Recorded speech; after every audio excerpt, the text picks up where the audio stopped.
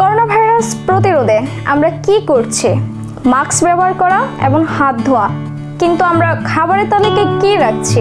কি খাওয়া যাবে আর কি খাওয়া যাবে না?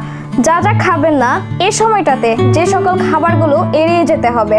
আদা সেদ্ধ খাবার যেমন মাছ, মাংস, ডিম কিংবা শাকসবজি। বেশিক্ষণ কেটে রাখা ফলমূল, সালাদ এড়িয়ে যাওয়াই ভালো। খেলেও পরবর্তীতে ভালোভাবে ধুয়ে নিতে হবে। যা যা খাবেন, খাবার ভালোভাবে সিদ্ধ করে খেতে হবে।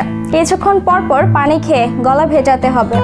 এতে এগোফেগাস শুকনো হয়ে ভাইরাস বাসা বাঁধতে পারে না এবং vitamin A E C zinc জাতীয় ফল ও শাকসবজি খেতে হবে। ফল খাওয়ার আগে কুসুম গরম পানি দিয়ে ভালোভাবে ধুয়ে নিতে হবে। আমাদের সকলের সচেতনতাই পারে করোনা প্রতিরোধ করতে।